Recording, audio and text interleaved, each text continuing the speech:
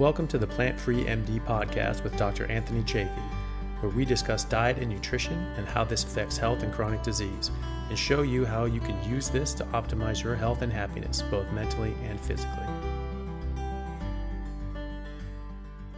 Hey guys, just want to take a second to thank our sponsor, Carnivore Bar. I don't promote many products because honestly, all you need to be healthy is to just eat meat, for those times that you're out hiking, road tripping, or stuck at work and you want a nutritious snack that is just meat, fat, and salt if you want it, the carnivore bar is a great option. So I like this product not because it's just pure meat, but also because I want the carnivore market to thrive as well. And the more we support meat only products, the more meat only products there will be available in the mainstream. So if this sounds like something you'd like to get behind, check it out using my discount code Anthony to get 10% off, which also applies to subscriptions, giving you 25% off total. All right. Thanks, guys. Hello, everyone. This is uh, Dr. Anthony Chaffee, and I have with me a very special guest uh, today, Nina Teicholz, who is an investigative science, uh, science journalist and author of the New York Times bestselling um, bestseller, The Big Fat Surprise, uh, which upended the conventional wisdom of dietary fat, especially saturated fat, and spurred a new conversation about where these fats, in fact, cause, or, or whether or not these fats actually cause heart disease. She's also a founder of the Nutrition Coalition, which is a nonprofit that works to ensure that nutrition policies are transparent and evidence based. Um, and the work um, and her work involved in this has, has also uh, allowed her to testify in front of the U.S. Department of Agriculture as well as the uh, Canadian Senate. She's also a graduate of Stanford and Oxford universities and previously served as associate director of the Center for Globalization and Sustainable Development at Columbia University. Uh, Nina, thank you so much for, for coming on and taking the time to speak with me. Thank you, Anthony, for having me. It's great to be here. Yeah. So, um, you know, obviously, you know, that, that's a quick sort of rundown on on your background. But if you could tell us uh, just a bit about, you know, more about your background and uh, and what you're doing now, uh, uh so people can get to know you a bit more if they haven't uh, come across you before. Yeah. Well, I. I'm a uh, so my background is as a journalist, and um, actually I was vegetarian for more than 20 years when I started my work uh, in nutrition. And I, I got started because I had been assigned an article by a magazine to look into trans fats. At the time, I knew nothing really about nutrition. This is in the early 2000s. Um, even though, you know, in retrospect, I think, you know, I had most of my life struggled with my weight and not felt particularly healthy. But uh, but I approached it really as a journalist, looking skeptically at everything that I came across. And I quickly discovered that there was this rich world of research uh, about dietary fat, which I had been taught, and is still, people really still obsess about this idea. You know, what is good fat, bad fat? How much fat? Is fat fattening? Is the fat in meat and cheese going to give you, you a heart attack? And there was a great deal of strange conflicting research. And when i would call up researchers academics at university to try to find out what more about their work i literally felt sometimes like i was interviewing or i was investigating the mob. I mean in the sense that people would hang up on me. People were terrified to talk to me. I found researchers who would say, you know, I can't talk about that study. I can't talk about the low fat diet. Mm-hmm. So as a journalist, I thought, wow, there there has to be a story here, um, and that sent me down a rabbit hole. Um, I think many of your listeners um, and viewers will understand what it's like to feel obsessed about a subject, especially this subject, which is so rich and broad. And I read, you know, thousands and thousands of studies. I interviewed hundreds of nutrition scientists around the world and spent nearly a decade writing my book, uh, The Big Fat Surprise, which really did two things. The first thing it did was it brought together all the evidence in the various strains and different arguments for why we had gotten it wrong on saturated fats, right? Where did that idea come from? Who proposed it? How was it? How was it that we came to believe that saturated fat and cholesterol was the most potent way to cause a heart attack? And so I traced that whole story throughout history, really going back to the 1950s. And and our created the argumentation showing that it really had not been ever proven to be true that idea. And um, and subsequently i followed up on science and and you know there are now we can talk about what's happened now in the science but it's largely vindicated the, the kind of line of uh, argumentation that i make, was making um, which you know at the time was very controversial. It remains controversial. But um so and i also in in my book i talk about um it was really the first time where that uh that somebody had put forward all the history of vegetable oils also known people know them now as seed oils more accurately. But you know where did they come from? How did we end up with uh, a product that had originally been invented to uh, lubricate machinery in the industrial revolution? How did we come around to the idea that that was the healthiest fat um, to avoid heart disease so I talk about that in my book, and um, there's also a chapter on the Mediterranean diet, and which focuses on olive oil, but overall the Mediterranean diet, which many people think is the best diet for health. And so we could talk about that if you like, but that really plunged me into this world of nutrition science that I have remained in ever since. Um, and then I started the Nutrition Coalition, which is a nonprofit group to try to ensure that our nutrition policies actually reflect the science, that the process that produces them is rigorous and transparent. And I did that because it was so clear to me after reading these thousands of studies that those that all of that information was not in our guidelines had never been reviewed huge the most important most expensive studies that had ever been conducted funded by governments around the world had actually never been included in the evidence base for our dietary guidelines. And so um you know, our guidelines are incredibly powerful, even though we don't really know about them or think that they affect us. But they are very powerful in determining what we think is a healthy diet and what's fed in all kinds of public settings like schools. So, um, so I'm still working as a journalist, and I'm still involved in the Nutrition Coalition, and uh, you know have been working in this space now for um, more than a decade. Oh, fantastic. Yeah, so I, I actually um, just signed up to to speak with a, a, you know vegan nutritionist, or you know propose you know specifically plant based and low fat, uh, low saturated fat diet. A guy named uh, Simon Hill, um, who's was actually the first uh, person on the other side of the aisle who's ever agreed to like actually speak with me and, and sort of discuss these sorts of things. But and, and that's exactly what we're going to discuss. He says, you know, his main his main problem with eating meat is is because of saturated fat, and he just believes that saturated fat is just you know this horrible horrible thing that's just terrible for you and that's what he you know he was i think he has a master's in nutrition and that's what you know he was taught and um, and what he espouses and i think he's he's coming from an honest place i just you know uh, I think that um, that, but that's the the traditional teaching is that saturated fat is horrible for you. So where where does that where does that come from? And and you know, am I in am I in for a rough time? You know, did I did I pick the wrong side in this uh, in this fight? Um, well, you might be in for a rough time because it's hard to talk about this science um, people are quite dug in but i think you can be assured that the science is on your side so let me just give a brief history of where this idea came from.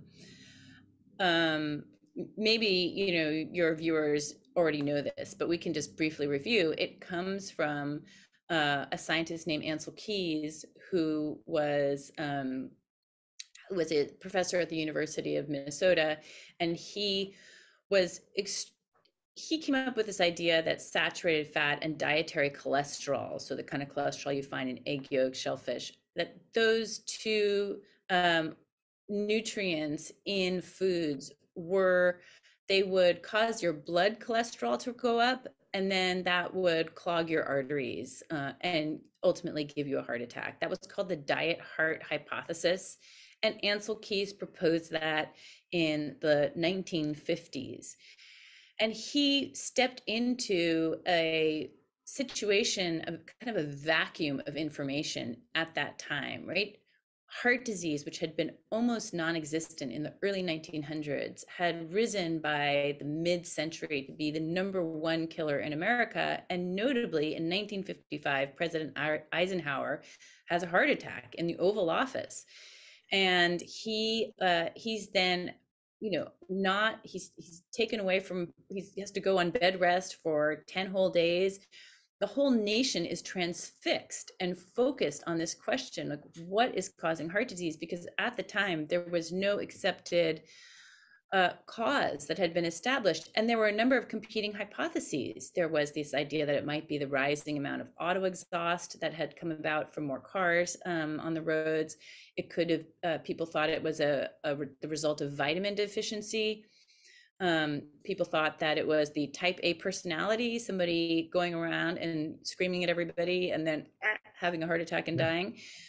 Those were all viable theories, but it was Ansel Keys through his basically his networking and his personal charisma and his ability to, as even his friends say, argue anybody to the, to the death, that he was able to promote his idea into uh, importantly, you know, with leading doctors of the time, including Eisenhower's doctor. But probably the most significant event was when he got onto the nutrition cola, sorry, the nutrition committee of the American Heart Association. So the American Heart Association was the most authoritative group then, and probably one would say now, telling people what to do about heart disease Ansel Keys was able to swing that group around in the course of a year, um, based really on no data, but he was able to convince this group to endorse the diet heart hypothesis and tell everybody, well, at that time it was just men, tell men, 1961, avoid eating saturated fat, replace saturated fat in meat and eggs with polyunsaturated vegetable oils in order to avoid a heart attack that is like the little kernel of advice that grew into this huge um, oak tree of of recommendations that we now have all over the world and because that has been our advice for now 60 years it's extremely hard to disentangle because it's really a kind of a very firm established dogma. Um, so, but just to continue that through line, what happened after 1961? Well, many governments around the world, including yours in Australia, they realized that although this recommendation had gone out, there really was no rigorous evidence for it, which is to say, clinical trials, randomized controlled clinical trials, that is the only kind of evidence that can show cause and effect.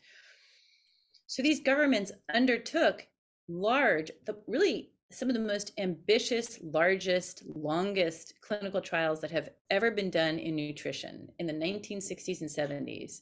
And these studies, uh, they, you know, they had, they, they were interpreted to imply that saturated fats did in fact cause heart disease. But if, and so that was sort of what was accepted um, for decades. But due to my work, the work of uh, journalist Gary Taubes, we went back and analyzed those trials looked at them. You know, one of them had never been properly randomized, another one had not controlled for smoking, another one had let people wander in and out of their study and not really kept track of them.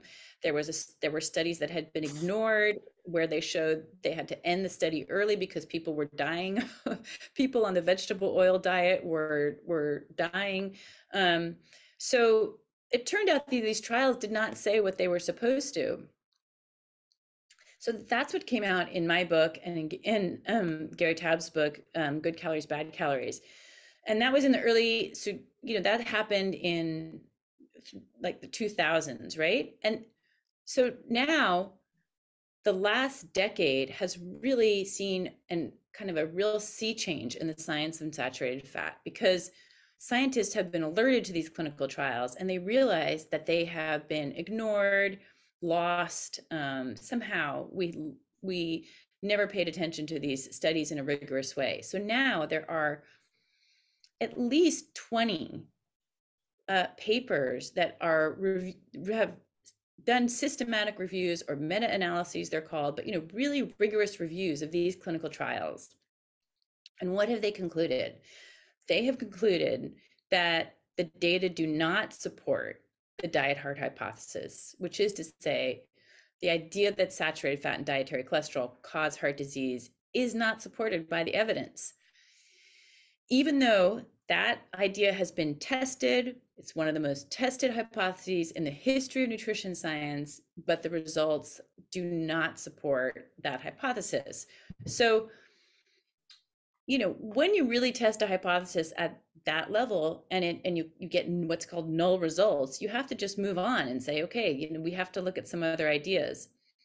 But just to emphasize how important this literature is from the last decade, these 20 review papers include a paper um, that I was somewhat involved in, which is by a group of authors that include four former members of the expert committees who actually wrote our US dietary guidelines. So these are people who are saying, we wrote the guideline, but now we think that's wrong. We didn't know about this evidence. We've reconsidered it. And that paper was published by the Journal of the American College of Cardiology, which is a very prestigious, it's called a high impact journal, read by cardiologists. It was called, it was um, branded as a state of the art review by the journal. It was selected by the editor in chief of that journal as one of the most important papers of the year that it came out. Um, I'm thinking it's maybe uh, 2019 now. But um, so that's an extremely important paper. Um, so I think that, uh, you know, what we have found is that the scientific community, different groups of scientists from around the world, these 20 papers have really concluded that we got it wrong on saturated fats. And the challenge now is to get that science to rise up and be considered by our, our government agencies in charge of these guidelines. And there's just a lot of uh, resistance to that, or stubbornness, or difficulty kind of dealing with this change in our understanding on saturated fats and this new data. So we can talk about it. That gets into the realm of politics, but in like in the scientific world, there's really been a firm, a pretty firm understanding that saturated fats. Uh, we just we made a mistake on saturated fats yeah. former editor in chief of the British Medical Journal, which is the oldest and most prestigious general journals in the world, Fiona Godlee said at a conference, you know, I think we really have to uh, we owe an apology to people. Like we just we we made a mistake on saturated fats. Yeah. And so so now with the the sort of on the political side of things, is this is this more that there's just this this just weight of inertia behind this and just so many people just have believed this that it's just hard to sort of change that around or are there people really trying to stick to this uh, for one reason or another and trying to to keep that information away from people well this is where we enter into the somewhat unsavory world of politics of yeah. nutrition which is to say um, there are multiple agendas uh, that are that resist change. So we can just, um, you know, there there there is of course kind of the the difficulty of bureaucracies being more or less sclerotic and mm-hmm. difficult to change, difficult to be seen as flip flopping on important issues with their public because that is causes an erosion of trust. And there are there are hundreds of nutrition scientists who have devoted their entire careers to um, you know to to this idea that saturated fats are bad who are reluctant understandably to reverse uh, themselves on an entire published um, history you know intellectual history that they've that they've established their careers on so there's that there's also the fact that um, saturated fats tends to raise your LDL cholesterol, that's the so called bad cholesterol. And that the biggest blockbuster drug of the history of the pharmaceutical industry has been statins, and statins lower your LDL cholesterol. So there is a pharmaceutical investment in maintaining the LDL cholesterol model of heart disease. And under that model, saturated fats are bad for health, um, even though, as we've seen most recently in the the Virta study out of the University of Indiana, that over the long that's a five they have five year data showing that the rise in ldl is transient and it and it goes down over time so um, so there's a kind of a pharmaceutical investment in the saturated fat ldl cholesterol model there's also the interest of the vegetable oil industry which mm. um, because remember vegetable oils we've been told to eat these vegetable oils instead of saturated fats so there's and these are some of the largest companies in the world that have included Unilever, Bunge, ADM, Monsanto, and all the soybean growers who uh, it's mainly soybean oil that people consume that are whose products end up in these oils. Those are huge multinational companies who do not want to see uh, you know their market share decline in any way i mean they have seen in the us at least i'm sure there's a similar curve in australia but we the, the the biggest increase in any foodstuff over the 20th century has been vegetable oils. We went from eating virtually zero of them to now 8 or 9% of all of our calories come from mm. vegetable oils. Since 1970 in the US, we've increased them by 90% our consumption. So there's that interest, which is, you know, resistance to um, losing market share. Mm-hmm. There's, I mean, there's there are other interests. There are uh, there the tremendous push towards veganism, um, which we see, which has many different financial and ethical and ideological movements but behind it. For them, saturated fats, the limit on those fats is what keeps down consumption of animal foods, which is important to them because they feel like that's un- unethical to eat those or it might be harming the environment from their perspective. So, I mean, that's just a snapshot of some of the interests involved um, in this. Yes. So it is it is extremely hard to change, but I will say it's becoming harder and harder to resist the science. I mean, a, in a paper that I uh, was a co-author on, we uh, we analyzed our own U.S. dietary guidelines, the expert committee, and their recent review on saturated fats for our 2020 guidelines, the most recent version their review we can we i looked at all the studies that they had used for their review and it, i found that like something between 70 and 100% of their studies depending on what the outcomes were did not support their conclusion. So the vast majority did not support the idea that saturated fats cause heart disease and yet their conclusion was the evidence that saturated fats cause heart disease is strong yeah. right? Top level recommendation. Although 70 to 100% of the studies that they provided for that recommendation showed exactly the opposite from what they said. So, um, you know, so this is and this is an area that's a lot of interest pushing against any liberation of saturated fats, and uh, and the science is clearly not being heard. Yeah. I'm, I'm just going to point out one point because I, I think that you know when you talk to um, this vegan guest, um, that the arguments that they that are often um, put forward and is that saturated fats cause inflammation, saturated fats um, have negative effects on cholesterol.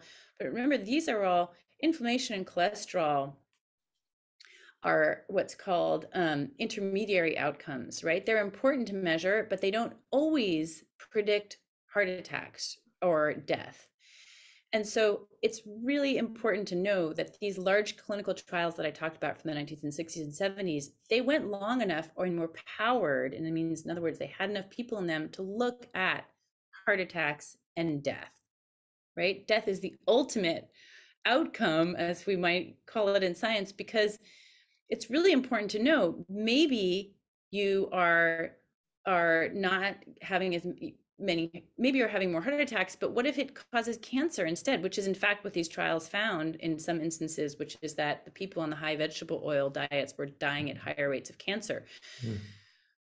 so you might be seeing some of these intermediary effects on inflammation and ldl cholesterol but really when you have hard outcome data on heart attacks and death, that trumps any other data you might have. It might be that the data, this intermediary data, was not quite correct or transitory, as we found out with LDL cholesterol. So, really, it's the hard, firm outcomes, what we call hard outcomes of heart attacks and death, that were studied. We have data on, and they showed that saturated fats, when replaced by vegetable oils, do not uh, reduce cardiovascular events or reduce um, mortality. Right. And that's um, and that's looking at the actual data, but then also like, okay. these recommendations, like you're saying, you know, they, they, their own supportive evidence didn't actually support their conclusions, which is why I always always right. tell people like like never just read the conclusion, you know, because they can conclude whatever they want. Like I, have read so many studies, you know, by the WHO and, and elsewhere that you know they come with some conclusion. I'm like that doesn't sound right. You know, I, I remember seeing right. when I was like a, when I was like a kid. They said that like you know Cuba had a top five, one of the top five um, uh, healthcare systems in the world, and like U.S. was like 76th. I'm like, there's no way. There's absolutely no way. And like I read the study, and it was and it was you know they you know just fudged around with things. They basically they, they, they calculated the, the, the health outcomes and the medical system as a, as a function of the, that country's GDP.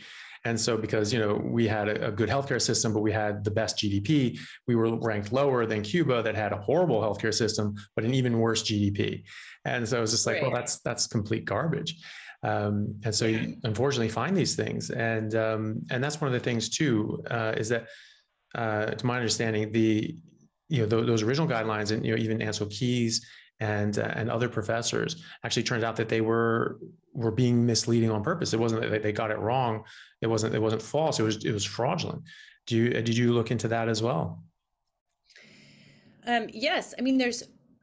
It's really important to understand for those of us who are coming into this field. I remember when I started, and I had my father is an engineer and and also worked in computer science and was a professor at Stanford University. It was, I had so much respect for science, and I thought it was this sober minded, ethical, slow moving, kind of um, thoughtful profession where people would reflect upon the data. They would, if they saw evidence to the contrary, they would consider it and reckon with it, maybe change their ideas. What I found was at least in the field of nutrition, something completely different from that, which is, and I think this is, I've now come to understand that this is true in quite a, a number of fields where if there is a prevailing theory, like the diet heart hypothesis, and and that's the theory that is embraced by your funders, you know, the the government agency that provides money for scientific funding, there's tremendous pressure on scientists to conform with that.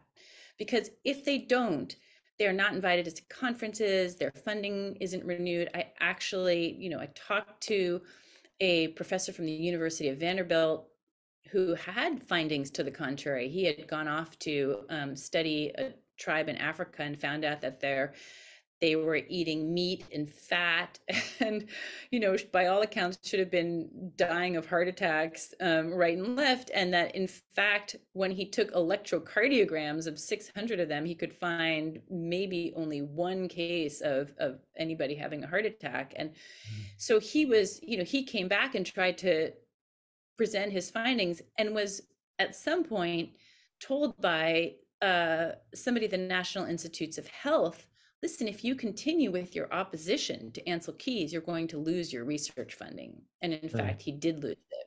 Wow. So there are many stories of scientists who find who are unlike this professor I just described, who instead of speaking out, they they change their data. So they do this in many ways. Um, they do it by not publishing their results the largest ever study of the diet heart hypothesis, the Minnesota Coronary Survey, when they came out with the results, which showed that, in fact, that the people who, the men and women who lowered their cholesterol the most, had the highest rate of heart attacks. They they didn't publish their results for 17 years. Uh, you know, which in science is is sort of a form of lying because you know you're withholding data. It had been a, a study that had been funded by our national institutes of health, and you know, when asked why, they were just said, "Well, we were so disappointed with the way it came out." Um, so there's a there you can just not publish data. There are instances where um, a colleague of Ansel Keys named Jerry Stamler, he did something called the U.S. Railway Study. His results did not support the diet heart hypothesis, but he was so invested in the diet heart hypothesis that he presents his results. And as you say, in the conclusion, he says, well, we didn't find this, but we still think the diet heart hypothesis is correct. Yeah. And so, and misrepresents his findings. And you know, this is what's so confusing to people who are new to the field. They just they can't understand that this might go on, but it goes on all the time. I mean, it's it was more common than not in the papers that I went through. Yeah, and that's um, yeah, and, and unfortunately, that you know, we do see that in the sciences. You know, I know uh, you know people like to think that that in the sciences, you know, you have someone who, who works for 30 years and, and, and stakes a reputation on, on a certain uh, hypothesis, and then someone disproves it and he goes up and shakes their hand and like, oh, I'm so happy you, you proved me wrong. Uh, I think that's happened once in history, you know, um, you know, when my, you know, my dad was actually at Berkeley, uh, you know, mentioned that he was working with uh, Louis Alvarez on the, on the bubble chamber and, you know, um, studying subatomic particles. One of his professors, he, he went in um, into his office and the guy was just, just obviously had some soul crushing moment. And my dad asked me, he was like, you know, is, is everything okay? Uh, well, they, they just sort of discovered the attractive forces between protons and electrons. And, and they studied that again, you know, uh, um, you know, versus the gravitational forces. And they found that that, that attractive force, that, that pl- those plasma forces, the negative and positive charges, was uh, 10 to the 42nd um, to the 42nd power times more powerful than gravity. And this guy was saying, he's like, I think I've wasted the last 20 years of my life. You know, like gravity cannot be the answer. I mean, there's no way. This is 42 orders of magnitude times more powerful. The like it, it can't be gravity. And and he actually completely revamped his his research and went in a completely different different uh, direction after that. So you know, but that's like that's like you know the one the one sort of uh, uh, example that I know of, and so yeah, it's it's unfortunate that people really do stake their reputations, and and then they just they just they cling to them, and you know, where, where I would think that you would I would I would have more trust in someone if they could just look at it and go like, damn it, yeah, you're right, that doesn't make sense that that you know what I was saying is true, and then go with it. You you you you you'd see that they had to have some integrity behind them, you know, because they you know not everyone can be right all the time. You just it just can't happen, you know. And, and sorry, you were gonna say. Yeah, no, and I think you know there's another factor here in this field that you know is sort of obvious to everyone, but there's a lot of money from the food industry that comes into play, and uh, and so there's it's more common than not that researchers are getting money from the food industry and and that just distorts i mean the food industry in the us they have they have been working at least since 1941 when they started a kind of uh, nutrition association mainly uh, you know which was basically large manufactured food companies, you know, the American Biscuit Company and um, and and and others who were were they they started to understand they've been at this and they've been at for decades they started to understand how to influence science and the best way to do that is to do it is to do that at the very source right? So you fund the scientists you fund their conferences you fund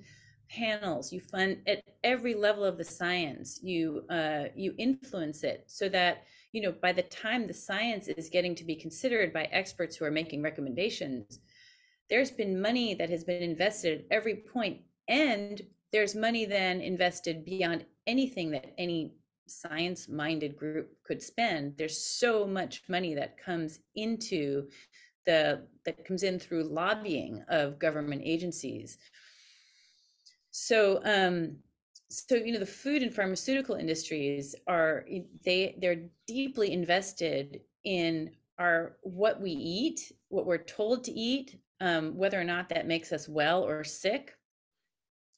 The the you know as our economies have suffered in the last few years i mean the greatest growth industry in our countries certainly in the us is sickness That mm. if you go into any town in america where the life has been sucked out of the main street and the downtown and and what is a, the spanking new building in town is the dialysis center or um, the new cancer wing of a hospital. I mean sickness is a huge growth industry. We spend like a billion dollars a day in our country just on diabetes alone. Jesus. So that's where the money is. Yeah. and and that is there's just no question that that influences our ability to do good science and have that science be heard in this in this world of you know nutrition and health yeah that, that was that was one of the things too that i that i wanted to get into this this sort of field as well because like i actually want i want the opposite like I, I really want to put a lot of doctors out of business like that's that's that's actually one of my yeah. main goals is, is to have a, have them have a lot less to do, you know, because you know, we have we all all these people basically spinning their wheels, treating diseases that don't need to exist. You know, they they shouldn't be there. You know, we're we're we're getting sick because we're eating stupid things, and this is causing basically a, a you know poison effect. You know, we're we're eating poison, we're getting poisoned, and we're treating this as if it's a disease, and we're making you know de novo drugs to to mitigate you know the damage and have you die slowly over 40 years, as opposed to just removing you know the stimulus in the first place and just and just getting rid of the problem. Um, I think that we could uh, get a lot of brain power and a lot of money pointed in in very different, actually useful directions and uh, and and be much better off for it. And you know, it sounds like you know putting people out of business or whatever. I'm happy with that. They can go and do something productive. I'll, I'll do the same. You know, like I mean, I like trauma surgery, so you know, I'm in in um, you know neurosurgery, and I actually really like trauma surgery, and so I think that'll I think I'm I'm okay on that end because there'll always be you know drunk idiots, but like you know that uh, that need to get the you know half their skull taken off, but you know it's um, i think that that's that's what we need to get back to. We need to get back to actually treating problems as they arise and not and not not manufacturing them so that we can then treat them. You know? Yeah i mean I, I i think you know my heart actually goes out to doctors because i think that they you know so many extremely smart people go to med- medical school with the desire to help people but the system that they enter uh, which you know has largely you know has evolved to respond to pharmaceutical interests teaches them that first of all nutrition and lifestyle are wimpy and don't do and aren't you know aren't part of the calculation um and and fair enough because the dietary advice we've been giving people and that they give people they find doesn't work and hasn't worked because it's not based on good science um, you know, they tell people go out and eat more fruits, vegetables, whole grains, nuts, seeds, lean meats. I mean, and and that doesn't work and has been showed not to work in clinical trials. So they don't have any faith in nutrition. And then they're taught to see every part of the body as its own different segmented system. So if you have a headache, you get a pill for that. If you have acne, you get a pill for that. If you have uh, you know, irritable bowel syndrome, you get some kind of medication for that. But you know, if you have prediabetes or diabetes, you get insulin. But they're not taught to look at the body systemically. They're not given the time to think about it, and they're they have no under. They're not taught that all of these different symptoms are in fact connected to the body's inability to uh, to deal with the amount of uh, sugars and starches that are coming into their you know their systems causing hyperinsulinemia excessive insulin in the body chronic excessive insulin the inability for the, the energy centers of the cells to function because they're not getting the right fuel. So all of that is not talked to doctors. They don't have the tools to help people. So i feel sorry you know i actually feel badly that we have this we have a system that is not helping people and the doctors are you know they really become cogs in at least in the US they they they aren't really allowed to be thinking people. They have to follow guidelines. They aren't given the leeway to make their own decisions and and you know they're just kind of administrators of drugs and devices so it's it's a you know very and that's why i think also there's so, so much burnt burnout in the profession. Yeah. That and a few other things. Yeah. But well, it's um yeah. yeah i mean it like the whole structure this whole system has to change mm-hmm. and doctors are you know they are not the major players in that system in terms of making decisions unfortunately no, and uh, and yeah, you're right. I mean, I, I think it's, it's very easy to burn out. And I, have spoken to doctors about this who, who've changed around. Um, you know, a friend of mine, um, you know, uh, Dr. Pran uh, over in um, Sydney. You know, he's a he's a gastroenterologist and a hepatologist, and he uh, you know, just came across this as like, you know, the things that I'm doing aren't really helping people. And he found that like, you know, diet and lifestyle changes actually help people a lot more. And he actually took quite a pay cut because he was, you know, if he's doing procedures and he's doing, you know, colonoscopies and all these sorts of things, he gets, he gets paid more for that. Whereas like, you know, giving them nutritional advice and, and, and bouncing them over to, uh, you know, a dietitian in his practice, he gets paid much less for that, but it actually helps people. And so he you know, uh, is is much more satisfied with that, which is which is good. I think most doctors would would find that that uh, you know, and some people are, are just you know, you know, there's there's always you know the people out there that are just sort of you know in it for the wrong reasons. But I think a lot of people are in it for the right reasons. And when you're just seeing that you just sort of just spinning your wheels and it's just not really making much of a difference, that that can be then that can be difficult. Um, yeah. I remember meeting a doctor when I was down under um, mm-hmm. there who who had retired when he discovered the uh, uh, the whole science of of insulin and and sugar and and and he really started to understand this systemic thinking about the the the body and he he was so mortified that all the advice he had been giving to people his entire career had actually been harming them in his view and and he had not been helping people. He was so devastated by this. It was like almost this it was really a, a, a like a, a tragedy for him and he spent he was telling me he spent all of his time in retirement traveling wherever he could in any setting to talk give talks to people free of charge as really as almost a penance that mm. he felt he had to carry out in order to be right uh, in his own soul you know but um and to teach people and to about you know what he had discovered about um real science and health and so you know I, I and i also i'm sure you know stories i know so many stories where people are on the verge doctors are on the verge of quitting they find out about this science and they uh they're you know just revolutionizes they're on you know they they literally like take back the retirement paper to be able to practice and heal people which was always their original intention but had just been impossible in in the in the healthcare system as we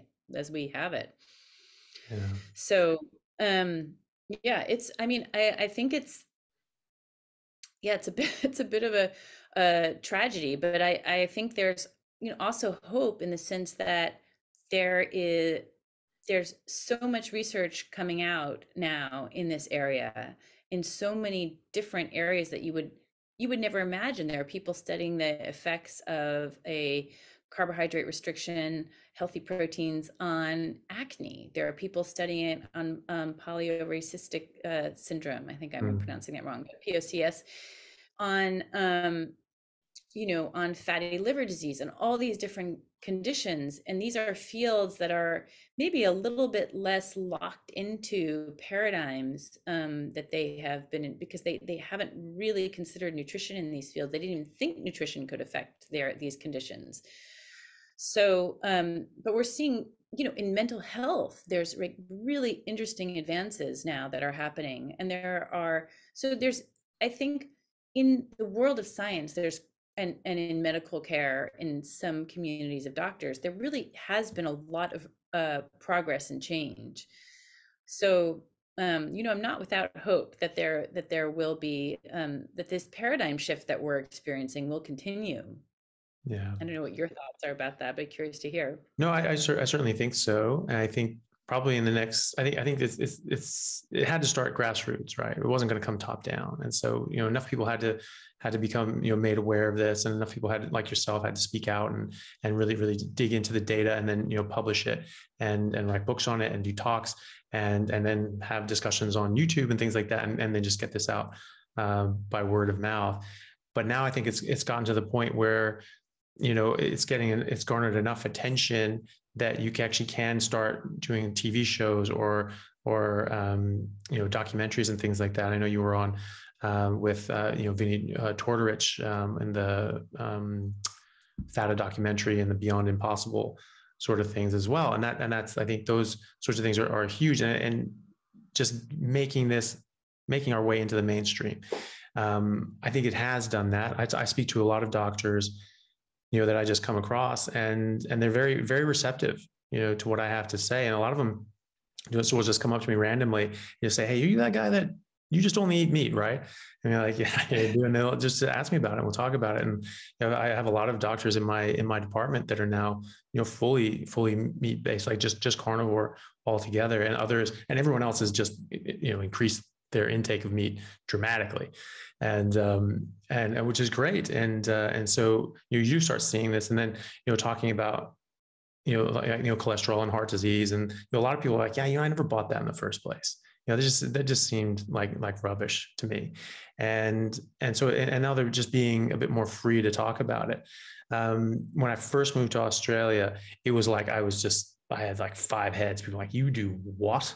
Yeah, because the the vegan uh, movement here was so strong, and uh, and you know when you talk about like the the regulations and people just sort of regurgitating guidelines in America, it's even even worse in Australia because the regulatory body here, AHPRA, is is very very vigilant, and if you get on the wrong side of them, they they will make you pay for it, and so you know people really have to toe that line uh, or or you know risk risk the wrath of uh, of uh, the the the licensing body. So people are quite worried about that. But when I first got here, like no one had heard of this. No one had, had even considered like an all meat diet. And so I got, I was talking about it quite a lot because people were just like, just shocked by, by what I was doing. And, but now, you know, I talk to people and I'm, you know, sort of having, you know, lunch at the hospital and I just have like a pile of eggs and bacon. And uh, someone asked me like, oh, well, you know, like, well, that's a, that's a lot of meat. That's a lot of eggs. You try and get your protein up. I was like, well, I just don't need anything else they're like, oh yeah, you know, are you doing a carnivore diet? And I was like, yeah. It's like, oh yeah, my, my brother's doing that. Like he lost a bunch of weight and like really likes it and all that sort of stuff. So now people actually know about it and they know about it by name. And uh, and now you know people have to go on uh, different platforms and and talk trash about it and have to say like, oh, this is really bad. This isn't sustainable for these reasons. But you know, two years ago, it wasn't even on the radar. It wasn't big enough for them to even you know uh, speak disparagingly of it because it just just you know wasn't uh, wasn't popular enough. So now i think that you know that is starting to turn the corner. People are starting to wake up and they are starting to you know look at your work and and people like you's work. They're showing up like uh, this this was this was based in nonsense. And this isn't actually what what the studies show. And then they try for themselves and go my god i just feel so much better. And they're reversing their issues. They're reversing their uh, you know weight gain and diabetes. And, and, you know a lot of people are you know actually you know uh, treating cancer this way. You know i, I spoke with a professor from boston college um, thomas seyfried. You know he's, he's like published over like 150 peer-reviewed um, you know journal articles and studies uh, on this subject. And he's just really showing is just like look if you know cancer biology you realize that you know if you have healthy mitochondria you cannot get cancer and if you are, if you do have cancer, the last thing you want to be doing is eating carbohydrates because they require 400 times the amount of glucose to run as, as do our or other cells, and they cannot run on ketones. And so if you're in ketosis and you have low blood sugar, you know, you're starving out your, your cancer cells. So this is just a no-brainer in his in his mind. And and so I think that it it is coming to the forefront. And I think I'm hopeful that in the next sort of five years, this is going to be a more of a mainstream um, notion that like you know that, that diet is is a really a major major factor in our health and not the way that we've ever been told it was. Yeah i think uh yeah I, I mean i just basically agree with you on everything that you're saying. And and it's um I, I think you know, there really is this, on the one hand, this growing body of science and clinicians and people who are finding unprecedented levels of success uh, with this approach.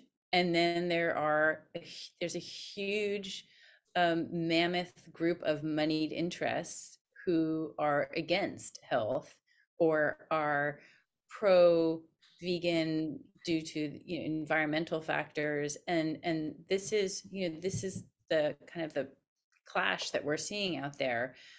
I think that most people think well it won't affect me because i will just be able to do what i want and you know i can eat the way that i uh, that i need to for for me for my family.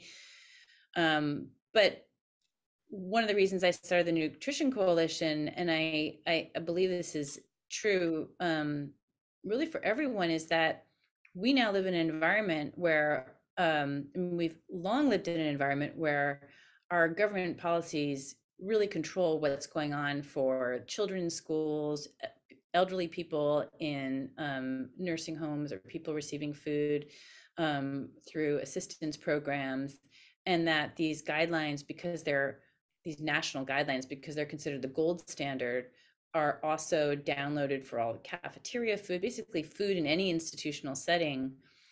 Um, and as you you know indicated, that if you're a healthcare practitioner, doctor, dietitian, nutritionist, any of these people who are teaching about nutrition, you can get in trouble for not teaching the gold standard. You or you can't get a job, or you. Uh, so I mean, there are ways in which our lives are really controlled and affected by these guidelines. We in the U.S. can't con- we, we can't constitute uh, a military force. We have failed on recruiting goals because, in large part, so many people are obese and just can't meet the fitness criteria. Mm-hmm. So it mm-hmm. affects our military preparedness. and now there's a new set of threats to our food supply that are coming um, through basically through the United efforts at the kind of the United Nations level, but that are are kind of trickling down to various governments, whereby they want to um, reduce or eliminate the amount of meat that we can eat. Um, they're buying crop, they're buying ranches and taking them out of production so that people cannot no longer raise cattle or or, or pigs. They are um, they're levying taxes on meat um, or proposing them. They're um, not allowing advertising for meat um, to try. There, there's, there's just many, many, many different efforts to try to reduce the availability of of meat, um, particularly beef, and that affects us because you know when I go to the supermarket, I mean, I there's I mean, I went to the supermarket the other day. I live in New York City, and a steak this big was twenty dollars. Mm. I don't know what that is in Australian currency, but that's yeah. that's expensive.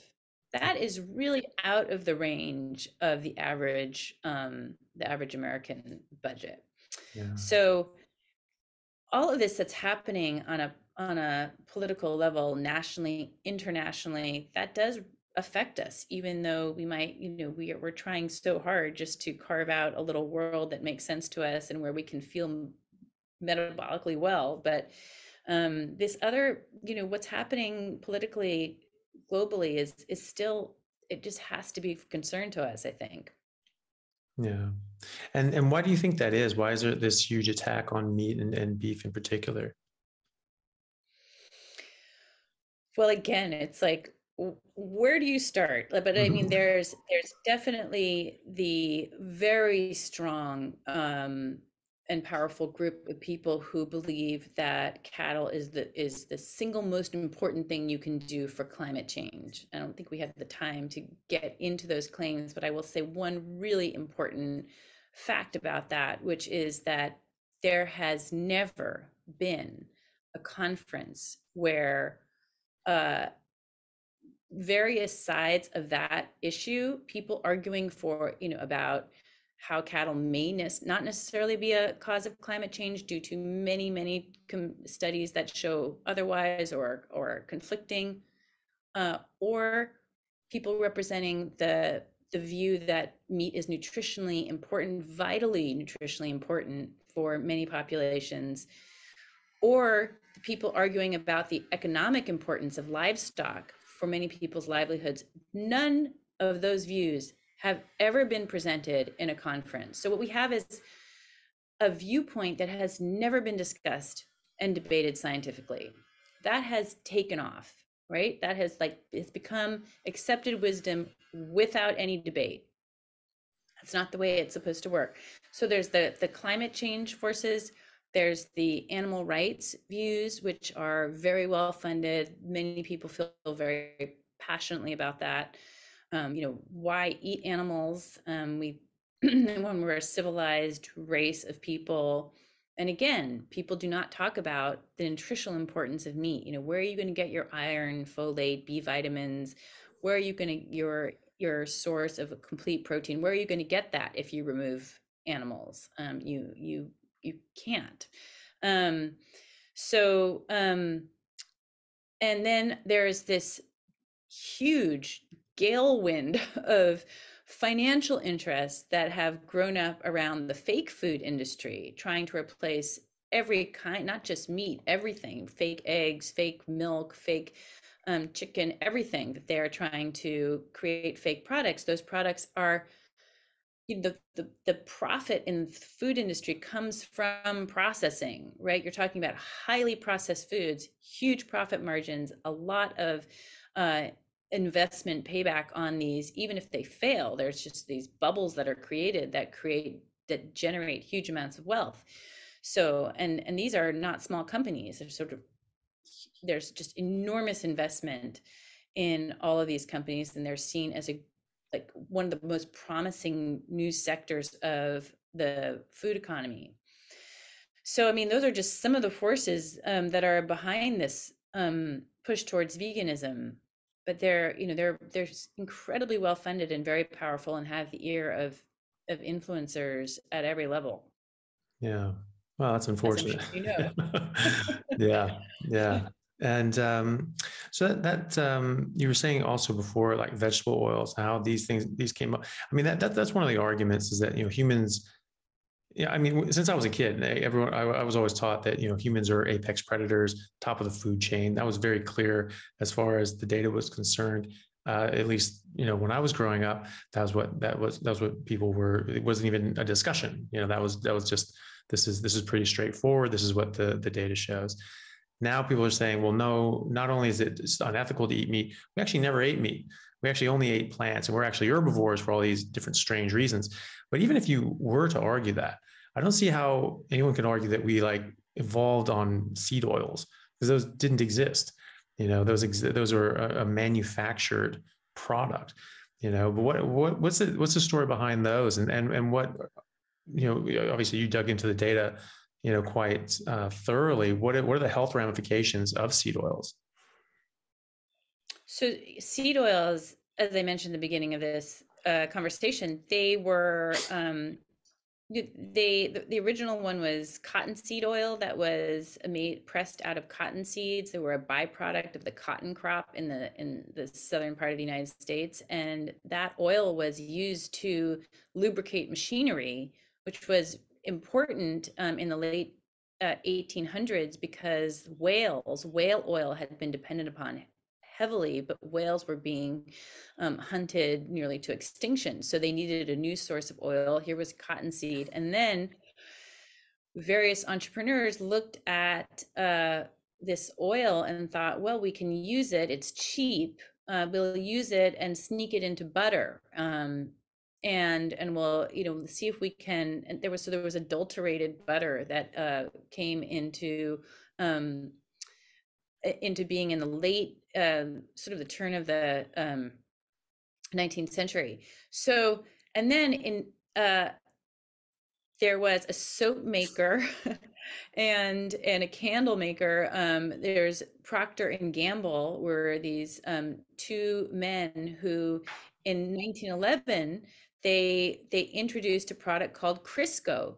Well, Crisco was really the first human uh, the first food product for human consumption that was made from these oils and it was it was they had these uh, procter and gamble had figured out how to harden the oil which was critical because oils in their oil form are highly unstable they oxidize easily they go rancid um, so they had figured out how to harden it through a process called hydrogenation or partial hydrogenation which is a big industrial process involving, involving a metal chelate and they made crisco they marketed it in, with a huge amount of marketing dollars, and this is what um, and convinced people that this was a safer and better than butter. Um, there's just a really fascinating history around this about how they were able to convince housewives, you know, they, you know, butter comes from slaughterhouses and is, or, you know, cattle are dirty.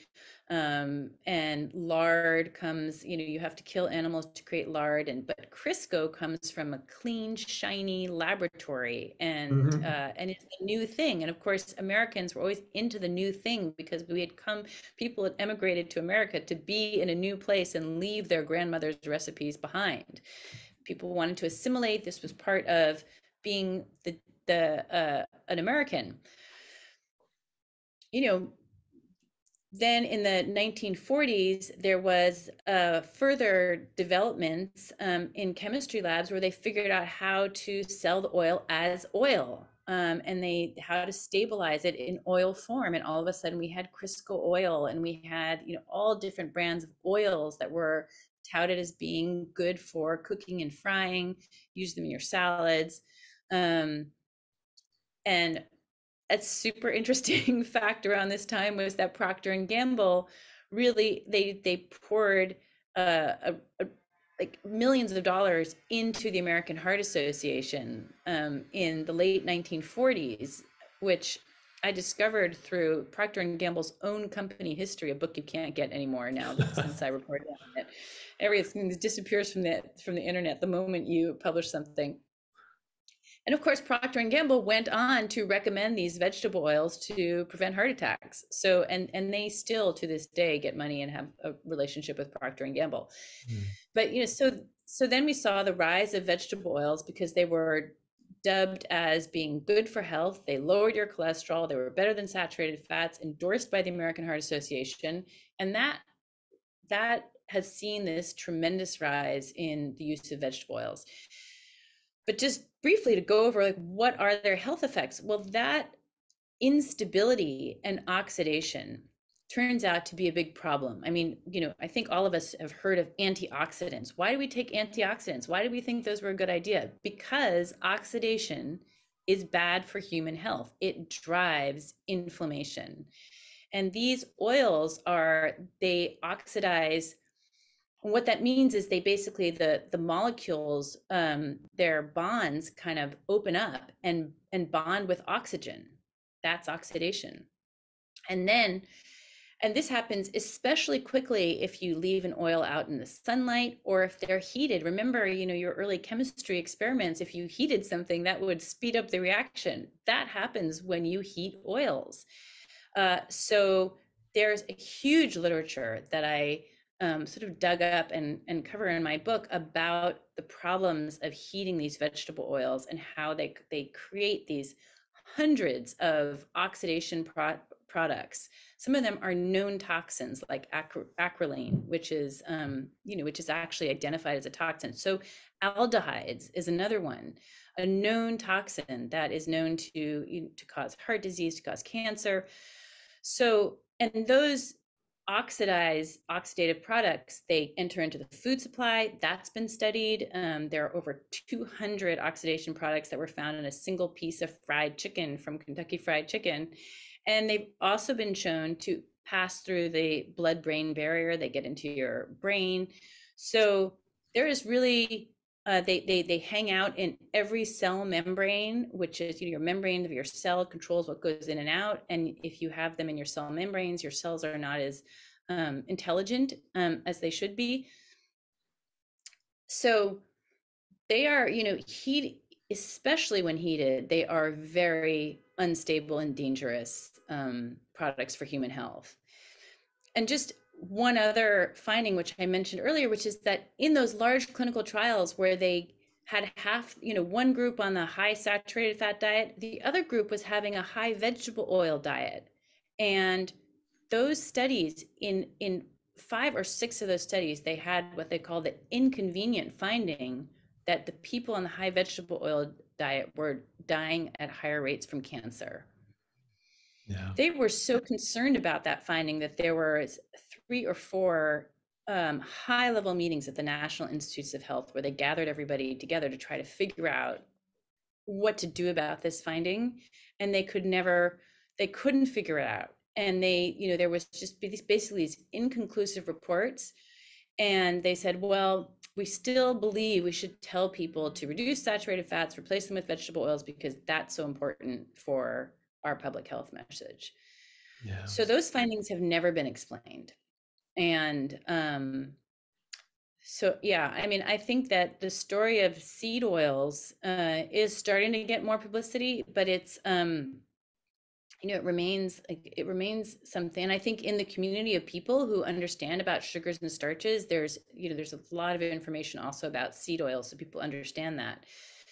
But um but you know this this all of this story and this history and these health effects are i think are not yet really understood um, in the mainstream scientific communities. Yeah. Yeah like uh, yeah. yeah. Well it's it's it's funny too because you know the, these things just don't get discussed. You know, i mean you know when, when i was in medical school yeah. none of this gets discussed. And, it, right. and, and, the thing is too is that you know people say oh well, well doctors aren't aren't you know really taught all this stuff.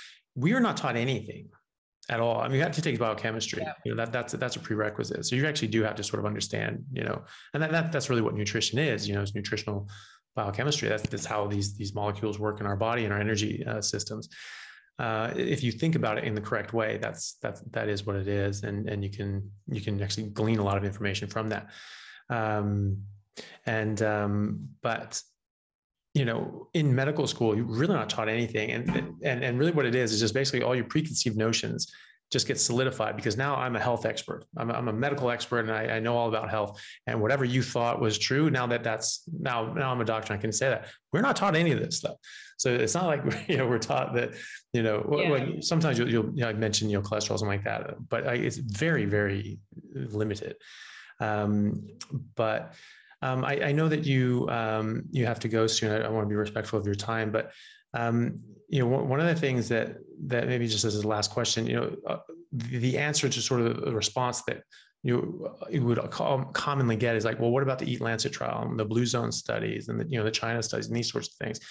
You know, what about those? Don't those show that you know plant based diet is really the best? Right. That's not a small question. Yeah, sorry. so the China study never peer reviewed. Never mm. it came it did not come out in in the peer it came out in a supplement of a journal. It was never subject to peer review. It's also um, a uh, it's a population study.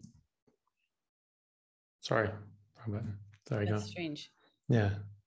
So it's also a study that shows association, not causation, a very weak form of evidence. Um, the Blue Zones, a uh, cherry-picked group of um, of communities that you can. I mean, the short answer is you can also find plenty of communities that are long-lived that had very different diets, had high diets, very high in animal foods, like there. And so there's a there's a tremendous range out there, and um, the Blue Zones are are you know are not unique i mean in the sense that there are other long-lived populations. Also in the blue zones um, there's you know there's so many other things going on. They're all populations where people are they have tight knit communities they are connected to their traditions they have they all kind they do all kinds of other things that contribute to long life. And do we know that it's diet? We don't know. Do we even know the diet is accurately measured? In the one blue zone that I investigated uh, for my book, which was the one on Crete, it turns out that that whole story is based on data on 30 to 33 men. Uh, and one of the sample periods was during Lent when there was no animal foods being eaten. So how good is that data? You know, not very good.